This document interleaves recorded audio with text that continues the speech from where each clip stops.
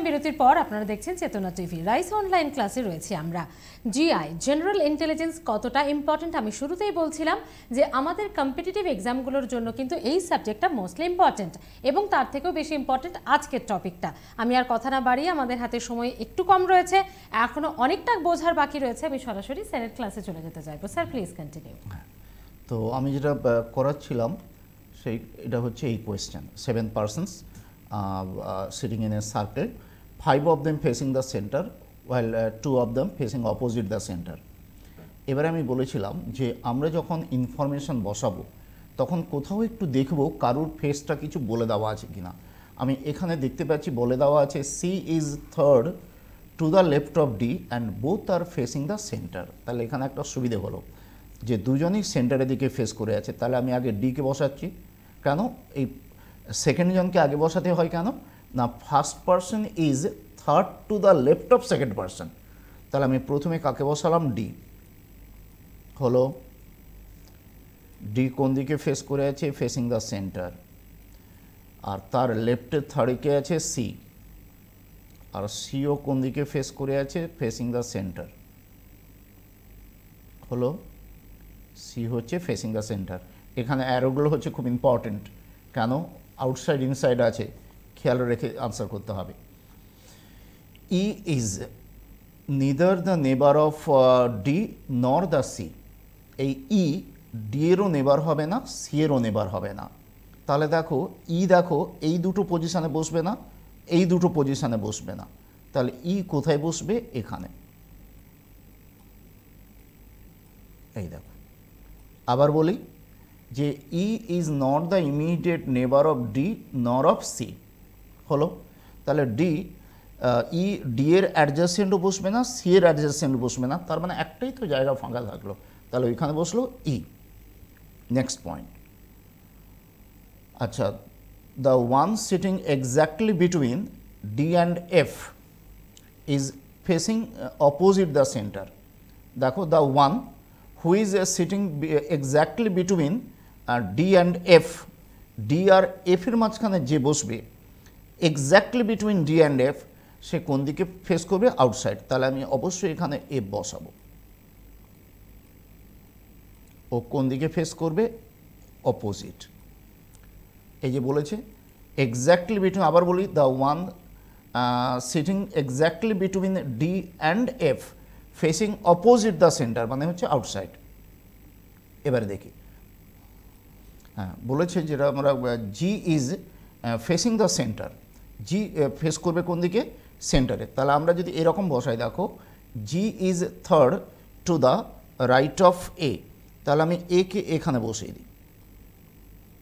একে যদি এখানে বসাই আউটসাইডে ফেস করে, তাহলে এর ডান দিকটা হবে এদিক। এর ডান দিকে, এদিকে হবে, এখানে বসবে কে? জি আর জি কোন দিকে ফেস করবে? সেন্টারের দিকে। বলো, সবাই বসে গেছে? আমার মনে হয় একজনই বাকি আছে বসতে, সে হচ্ছে বিকে বসালাম। এবারে কি বলা আছে দেখি, এখানে একটা কোথাও ইনফরমেশন দেখলাম। One of the neighbour of B is facing opposite the centre B এর যারা নেবার হবে, তার মধ্যে একজন অপোজিটে ফেস করবে। তাহলে বি এর একটা নেবার হয়েছে ডি ডি কোন দিকে ফেস করে আছে? ইনসাইড তাহলে অবশ্যই ই কোন দিকে ফেস করবে? আউটসাইড আউটসাইডে কজন ফেস করার কথা ছিল? দুজন। আর বাকিরা সবাই কোন দিকে ফেস করে আছে? ইনসাইড অলরেডি দুজনকে পেয়ে গেছি এ আর ই এই দুজন যদি আউটসাইড হয় তাহলে বাকি সবাই কোন দিকে হবে? ইনসাইডে হবে।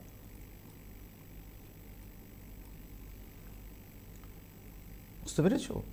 এইগুলো একটু ঠিকঠাক করে বসাতে হবে, না হলে কিন্তু খুব মুশকিলে পড়ে যাবে।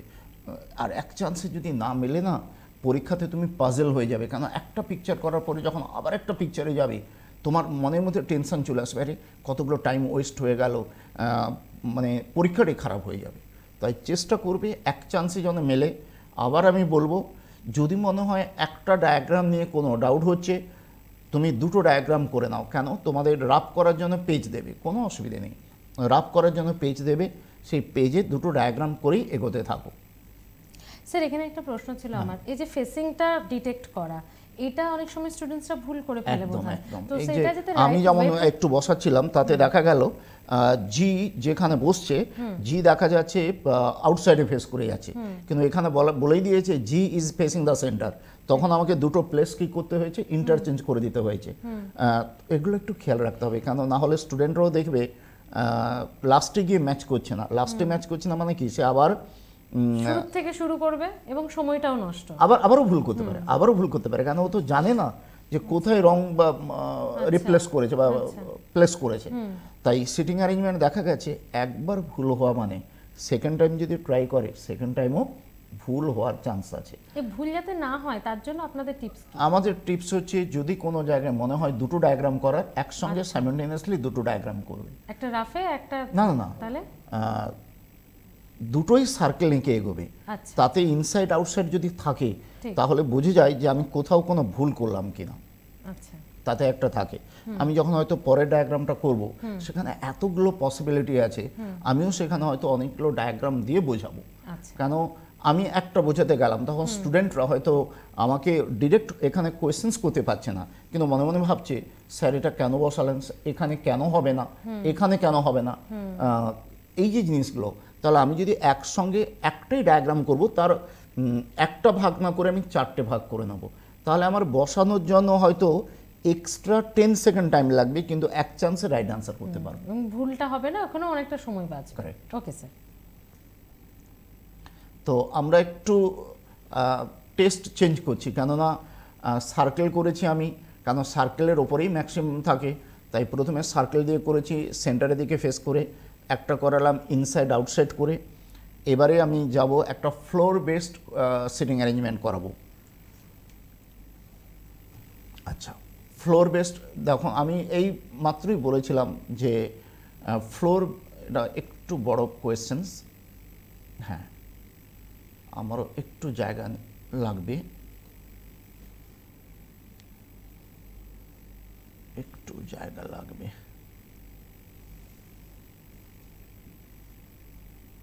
কি করে যেতে? আচ্ছা ঠিক আছে, এখানে একটু ফ্লোরটা করে নিই আর কি করব? এটা যেন আর একটু বেশি জায়গা পেলে ভালো হতো।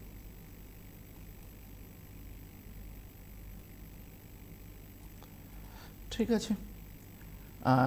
সেভেন ফ্লোর সাতখানা ফ্লোর আছে। তো এটাকে আমাকে সাতখানা ভাগ করে নিতে হবে। একটু ছোট ছোট হয়ে যাবে আর কি। One two three three four five six seven আচ্ছা। এদিক থেকে আমি একটা ফ্লোর নাম্বারগুলো লিখব।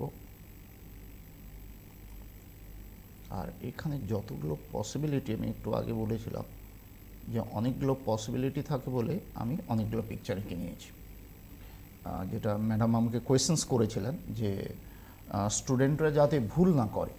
তো এটা একটা খুব মেজর পার্ট কেননা এইখানটাতে আমি যদি বসিয়ে দিই তাহলে তোমরা স্টুডেন্টরাই বলবে যে স্যার মুখস্থ করে এসছেন। আমি যদি এতগুলো ডায়াগ্রাম না করতাম তো সেখানে একটা কোয়েশ্চেন্স অ্যারাইজ করবে স্টুডেন্টদের মনে। কেননা আমরা যখন করাই বলে স্যার আপনি কেন এটা বসাচ্ছেন না? ওরা তো চালাক তো অনেক পসিবিলিটি ওরা আমাদের থেকে আরও বেশি ভেবে রাখে। আচ্ছা যখন ফ্লোর বেসড কোয়েশ্চেন্স হবে, এখানে কোনো জি যেটা জি মানে হচ্ছে কোনো গ্রাউন্ড ফ্লোর বলে কিছু থাকবে না। এখানে গ্রাউন্ড ফ্লোর বলে কিছু থাকবে না। এখানে স্টার্ট হবে কত দিয়ে? ওয়ান দিয়ে। তাহলে এটা হচ্ছে ওয়ান এটা টু এটা হচ্ছে থ্রি এটা হচ্ছে ফোর এটা হচ্ছে ফাইভ এটা হচ্ছে সিক্স আর এটা হচ্ছে সেভেন কেন বলা আছে? সেভেন ফ্লোর বিল্ডিং একদম পরিষ্কার করে বলা আছে। হলো? আচ্ছা এখানে যারা এইসব কোয়েশ্চেন্স করো, তাদের জন্য আমি আর বেশি বললাম না। কেন এই নাম্বার দেখো floor is number one the floor above it মানে ওয়ানের ওপরে টু অ্যান্ড শো অন এইভাবে। And topmost floor is number number seven একদম পরিষ্কার বলি, এটা বাই ডিফল্ট এটা থাকে। বরং ব্যাংকের পরীক্ষাতে অনেক সময় ভ্যাকেন্ট ফ্লোর দিয়ে দেয়। মানে সেভেন ফ্লোর থাকলেও তার মধ্যে হয়তো ছজন থাকবে, একটা ফ্লোর ভ্যাকেন্ট থাকতে পারে। শুধু তাই নয়, সেখানে আবার কিছু এক্সট্রা ইনফরমেশান থাকবে যে ওরা কোন ফ্লোরে আছে আর কোথায় কোন ব্যাংকে জব করছে বা কোথায় কোথায় জব করে বা কে কী ব্র্যান্ডের ফোন ইউজ করে থাকে বা এরকম ডিফারেন্ট ইনফরমেশান থাকে। তো আমি এতগুলো পিকচার কেন এঁকেছি? এখানে অনেকগুলো কোয়েশ্চেন্স থাকবে। ফার্স্টেই বলেছে dot dot dot dot dot one out of seven that is এত এত এত lives in each each floor একটা একটা ফ্লোরে একজন করেই থাকবে। আচ্ছা। There are four floor between R and T এই যে একটা questions there are four floor between R and T তার মানে এটা দুটো পসিবিলিটি আছে। ওপরে থাকতে পারে টি নিচে থাকতে পারে আর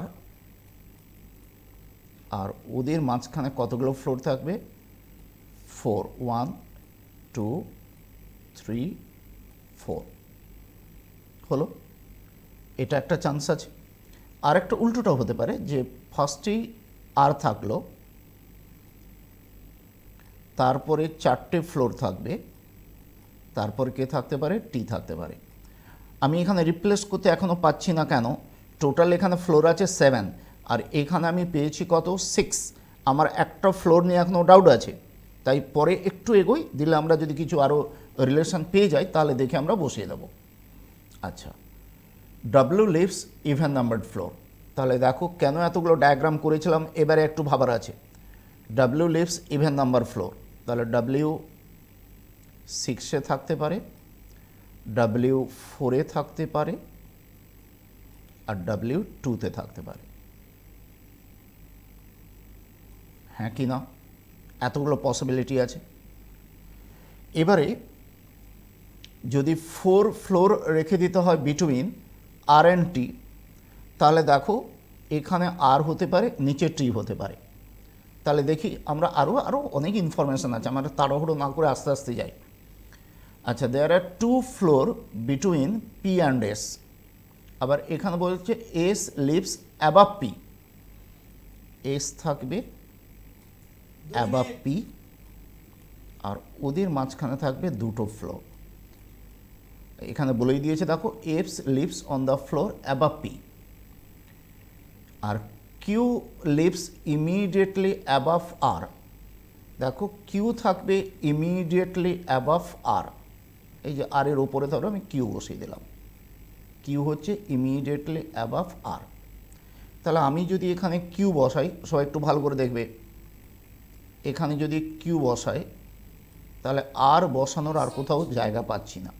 কেন? বলেছে কিউ থাকবে অ্যাবাভ আর তাহলে আমি যদি এখানে কিউ বসাই, কেন? বলেই দিয়েছে কিউ ইজ এই যে কিউ লিভস অ্যাবাভ আর তাহলে এখানে কিউ থাকল এখানে আর থাকল। আমি চারটে ফ্লোর বাদ দিলাম ওয়ান টু থ্রি ফোর এখানে টি বসালাম। হলো? আরেকটা পসিবিলিটি এখানে ছিল তোমরা উল্টোটা বসাতে পারো। দেখো এখানে আমি টি বসালাম। চারটে ফ্লোর বাদ দিলাম এক দুই তিন চার। এখানে বসল আর আর তার অ্যাবাব কে থাকবে? কিউ। হলো, আবার কেউ আমাকে কোয়েশ্চেন্স করতে পারো। যে স্যার, এখানে যদি কিউ আর আর তো কোথাও আমি চান্স পাচ্ছি না। আচ্ছা দেখে নিই। যদি পরে লাগে আমরা আনসার করব। আচ্ছা এস আর পি এর মাঝখানে থাকবে দুটো ফ্লোর আর এস থাকবে আবার পি যদি আমি এখানে এস বসাই তাহলে এস আর পি এর মাঝখানে দেখো দুটো ফ্লোর আছে।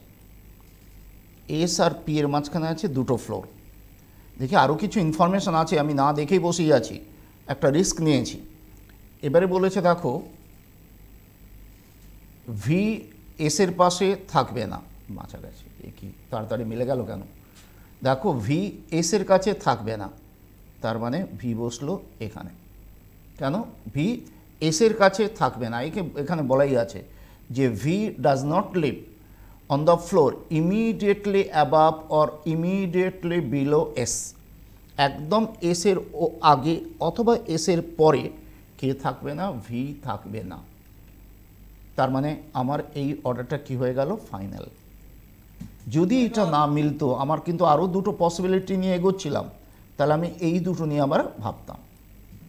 একদম কিন্তু তার আগে মোটামুটি আমাদের আজকের এই বিষয়টা সলভ হয়ে গেছে।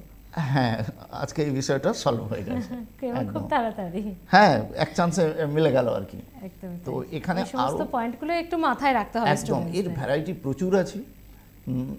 মানে এগুলো কিন্তু আমি বলি আরও কঠিনে যাওয়ার আগে এগুলো যদি ভালো করে না করা যায় কঠিন বোঝাতে গেলেই স্টুডেন্টদের অনেকেরই নিতে অসুবিধা হয়। একদম। না স্যার এরকম যদি করা যায় আমরা একটু টাফ নিয়ে একদিন না হয় হ্যাঁ হ্যাঁ করব তো। আমরা একদিন ব্যাংকের যে সব জিনিস হ্যাঁ, আছে হ্যাঁ, হ্যাঁ। এরকম আমাদের। স্টুডেন্টসদের থেকে তো প্রিপেয়ার হতে হবে একদম, কঠিন প্রশ্নের জন্য প্রিপেয়ার থাকতে একদম, হবে। স্যার আজকে একদম টাইম আপ আজকে সময় শেষ। খুব ভালো ইম্পর্টেন্ট একটা ক্লাস অলরেডি আমরা শেষ করে ফেললাম। আর যেটা স্যারকে বলছিলাম যে একটু কঠিন প্রশ্নের মুখোমুখিও তো আমাদের এক্সাম হলে হতে হবে। তার আগে প্রিপারেশনটা আমাদের হ্যাঁ, এখান থেকেই এখানে রো দিয়ে আমি কিন্তু আজকে করালাম না। সেটা আমি হয়তো নেক্সট যেদিন আসব সেখানে রো বা ম্যাডাম যেটা বললেন আর একটু হাই লেভেল মানে এখন ব্যাংকে যেটা দিয়েছে সেখানে জিআইতে লেখা থাকে হাই লেভেল জিআই একদম।